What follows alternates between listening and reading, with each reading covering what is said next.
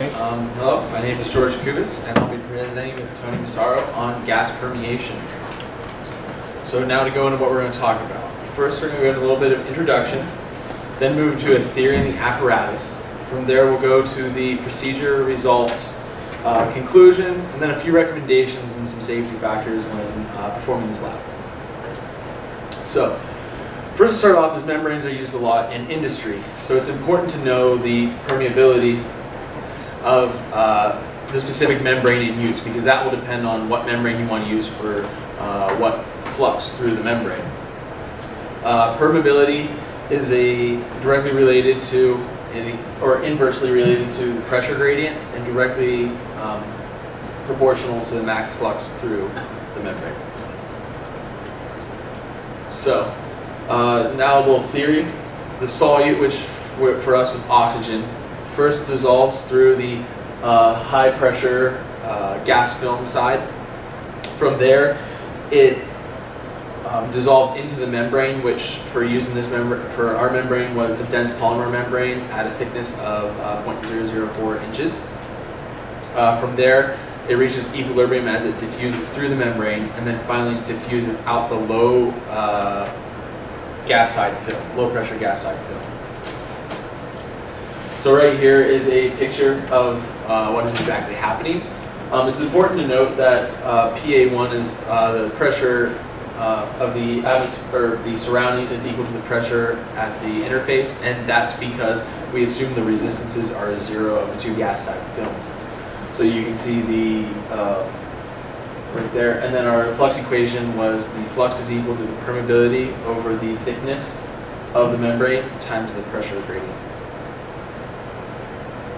And here's our apparatus. You have uh, an oxygen-nitrogen mixture flowing into the top cavity while you have pure nitrogen flowing into the bottom cavity. Uh, there's a membrane that separates in between and some oxygen diffuses across the membrane and will flow out with the nitrogen on the bottom cavity. So for our procedure, first we did um, our first started off doing a 30 on scale nitrogen on the bottom and a 90 on scale nitrogen on the top. That was our flow uh, readings, which we'll talk about um, changing those to actual uh, flow rates later. And we had to check that the concentrations were approximately zero for oxygen in coming from the top and bottom cavity. Next, we opened the oxygen to 10 on scale on the top while moving the nitrogen down to 80 and we left the bottom constant uh, the whole time. And then we recorded the concentrations and noted average values at the equilibrium that we then corresponded later with our graphs. Now we repeated this for two different concentrations flowing in the top. Uh, it was a 30, 30 on scale oxygen, 60 on scale nitrogen, and 50-50. So then here's our results. As you can see, we have at the beginning when I was talking about pure nitrogen flowing in, um, this is the top chamber, which was recorded in weight percent. And we have about a zero weight percent of O2. And then as we increase uh, to 10 on scale, 30 on scale, and thus 50 on scale, you can see we have increases in the weight percent of oxygen in the stream coming out the uh, um, in the top. And then finally, here's our bottom chamber. Um, it's roughly zero. This was about what we had for, that's our baseline, which later in our calculations, we do subtract the baseline, thus making it zero. So we only care about the actual differences and change between the two levels.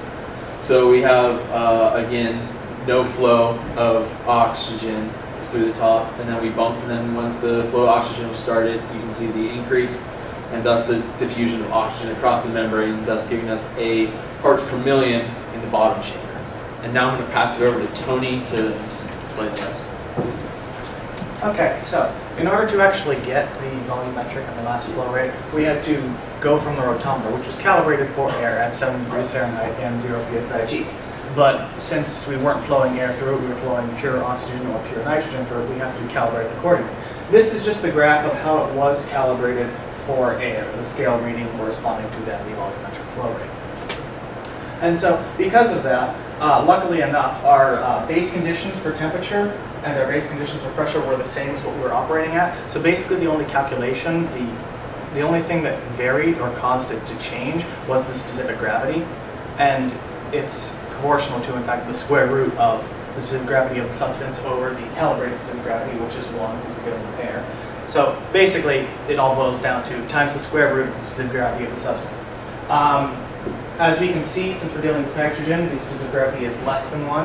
So when we go from an example flow rate of 146, which it was read, the actual flow rate was uh, lower than that, 146 to 141, because it's uh, lesser, less dense substance.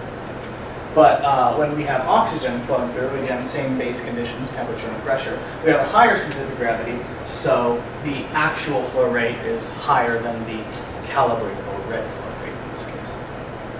Okay, so we can now find the, we know the volume percent because again, as George pointed out, we have those graphs of the volumetric percent, which we got from the voltages, calibrated or the linear graph and all that. And so we can find the partial pressure on both sides of the membrane because in the overall equation we need the partial pressures before and after the membrane.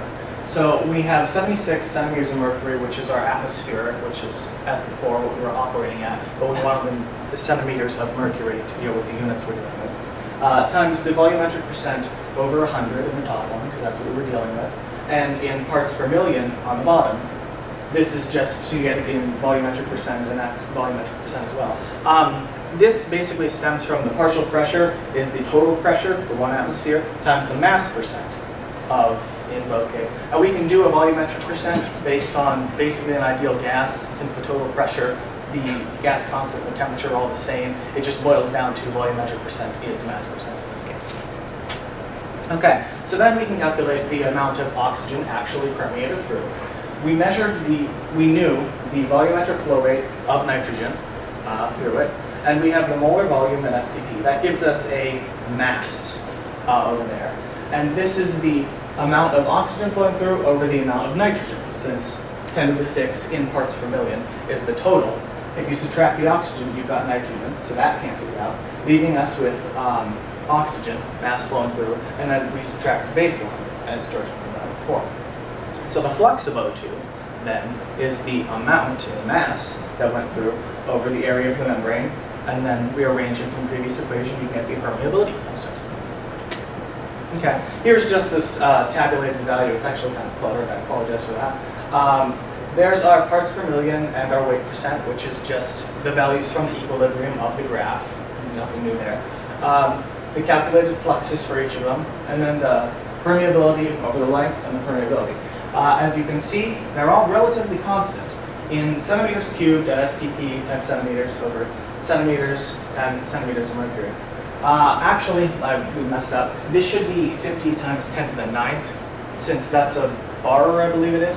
And 5 e to the 8th is essentially 50 e to the ninth. So they're all pretty much constant, and they match pretty closely to the literature values.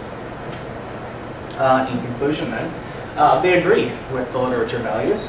As such, um, when we varied the oxygen flow rate over the three trials, it didn't affect the permeability, the PM, which is good because that's a constant of the membrane, so it shouldn't be varying.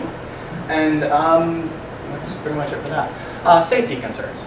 Uh, we were dealing with uh, pressurized tanks of oxygen and nitrogen, and as such, they should be labeled, and you should know what you're working with, the hazards, what they are, essentially. Um, they should be contained firmly and not allowed to be loose and fall and rupture because bad things happen then. Uh, similarly, as you don't want it hitting things, you don't want to be heating it up, and you don't want to be putting flames near it because explosions can occur and projectiles are launched, toxic gases, etc. Uh, when you're moving them, you should take proper concerns, such as putting on the valve caps, using gloves if you need to, or whatnot, and uh, open it slowly so it doesn't basically get out of control and explode, etc. Uh, recommendations.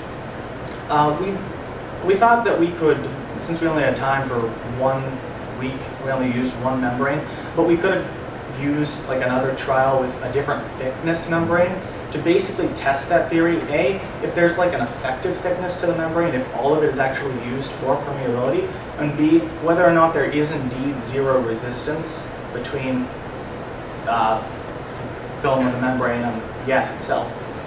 And secondly, we contemplated whether or not it would make sense to add an intermediary chamber analogous to the bottom chamber, We'd know what's flowing in, we'd have the readings of it.